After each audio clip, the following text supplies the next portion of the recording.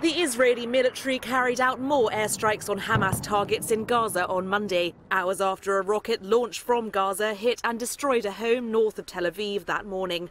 Israeli authorities say that six people were wounded.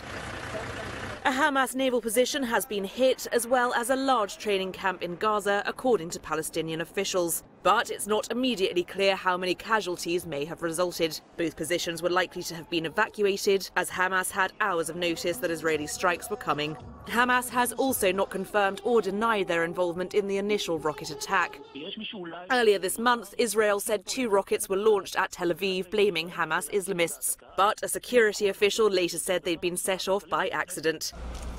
There is a heightened fear of escalation. The anniversary of the Gaza border protests is nearing, and it's only two weeks until Israel's national elections. Meanwhile, Prime Minister Benjamin Netanyahu, who's currently campaigning for a fifth term, has cut short his trip to Washington.